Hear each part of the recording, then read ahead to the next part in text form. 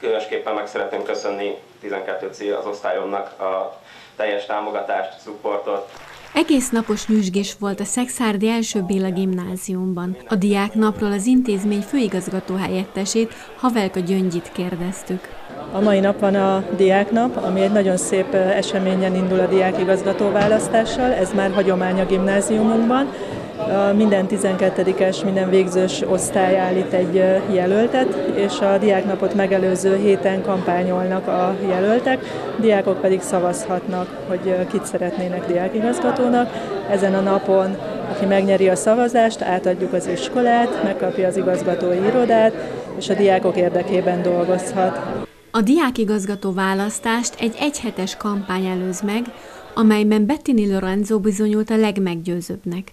Több fontos célt tűzött ki, amelyeket szeretne megvalósítani a tanév alatt, de süteménnyel is kedveskedett diáktársainak. Minden végzős folyamból egy, egy, az osztályonként egy-egy főt indítanak diákigazgató posztra, ugye megtörténik egy ilyen választás, és a végén az egyik diák a három közül elfoglalja ezt a, ezt a helyet.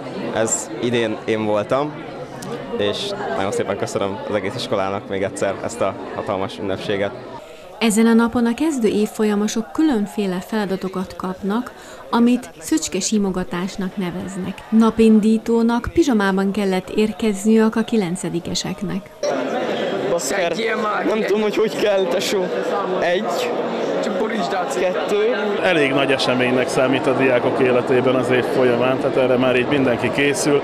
Ezen a napon rendezzük meg a kilencedikesek avatását, amit mi így a Szöcske simogatónak hívunk a mi intézményünkben, ugye, ahol már legtöbb helyen gólya avatás illetve hát már jó pár éve egy főzőversenyt rendezünk osztályok között, ez az igazgatóasszony ötlete volt annak idején, és ezért nagyon szépen bevált.